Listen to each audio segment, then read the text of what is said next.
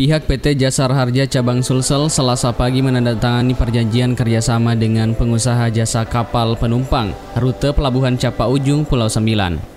Penandatanganan kerjasama yang berlangsung di gedung pertemuan PPI Lapak Kecamatan Sinje Utara ini turut disaksikan staf ahli Bupati Muhammad Irfan dan Kepala Dinas Perhubungan Sinjai Andi Irwan Syahran Yusuf. Kerjasama yang dilakukan Jasar Harja dengan pengusaha kapal ini merupakan upaya Pemkap Sinjai dalam rangka menjamin keselamatan penumpang kapal yang selama ini tidak memiliki asuransi keselamatan. Dengan adanya asuransi akan diberikan kepada seluruh penumpang dan kru, tentu saja kegiatan ini akan mengangkat level keselamatan, mengangkat derajat keselamatan transportasi kita Sinjai ke arah yang lebih baik.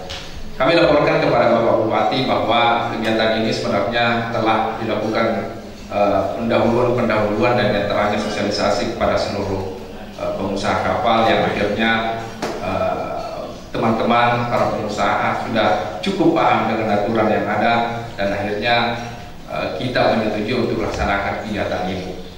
Mewakili Bupati, staf ahli Bupati Muhammad Irfan menyampaikan apresiasi terhadap kerjasama PT Jasa Raharja ini yang diharapkan menjawab kekhawatiran penumpang atas jaminan keselamatan selama menaiki kapal.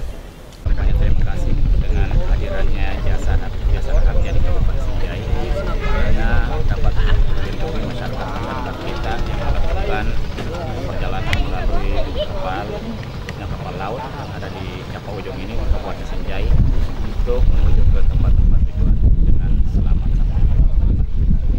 Dalam kerja sama ini, pihak Jasa Harja akan memperlakukan premi bagi pengusaha jasa kapal penumpang dengan menyesuaikan jenis kapal yang dimiliki.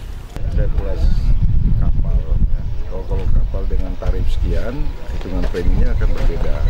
Ada tingkatan, ada klasifikasi kelasnya kita hitung Pak nanti ada hitungannya load faktornya, rate-nya semua. Baru kita tentukan berapa tarif premi untuk JR. Oh berarti belum ada penentuan ini Pak ya? Ya kalau ada yang mendaftar baru kita hitung berapa yang tarif. Sementara dari pihak pengusaha kapal sendiri, penetapan premi tersebut tidaklah menjadi masalah. Terlebih pihak Jasar Harja memberikan keringanan dalam pelunasan pembayaran. Sebenarnya kan pendapatan kapal begini beda-beda Pak. Ya, ya, ya. Sebenarnya berat tapi hanya demi keamanan Pak. Berapa Pak per bulan? Eh, 400 ribu Pak per bulan. Jadi kita ya ada keringanan dia di per hari. Iya 1300 eh 13 ribu Pak. Apakah tidak memberatkan Pak? Sebenarnya seperti kapal saya Pak memberatkan tapi karena kita mau ada sedikit jaminan kama jaminan uh, kita ikuti saja. Untuk sementara ini telah ada 10 pengusaha kapal yang menjalin kerjasama dengan PT Jasa Raharja. Ke depannya diharapkan lebih banyak lagi.